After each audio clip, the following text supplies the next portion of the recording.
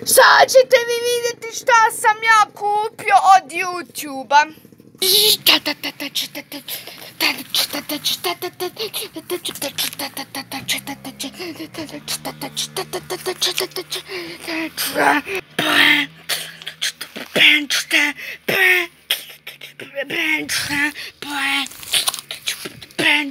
Ovo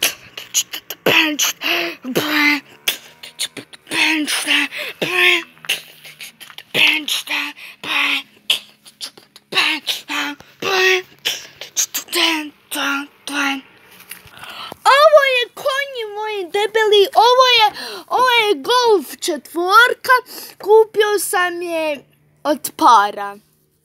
Ali ljudi, zahvalan sam vama za 31 pretplatnik, a morate doći u Entor centar i kubi uzmete nešto oko 1000 maraka i onda sam ja kupio ovu moju golfcu. A ja je neću koristiti dok ne napunim 18 godina.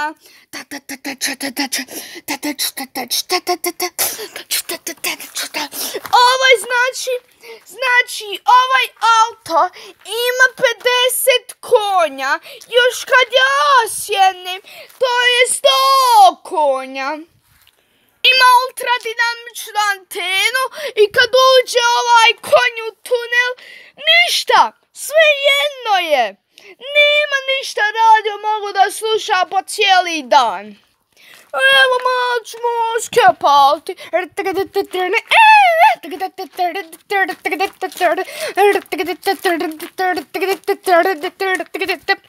Ima super gepek i ovo sam početnik. I eto ljudi, od Sam kupio golf četvorku. Ljuđaci, ako se svidjela epizoda, palite like za golf četvorku.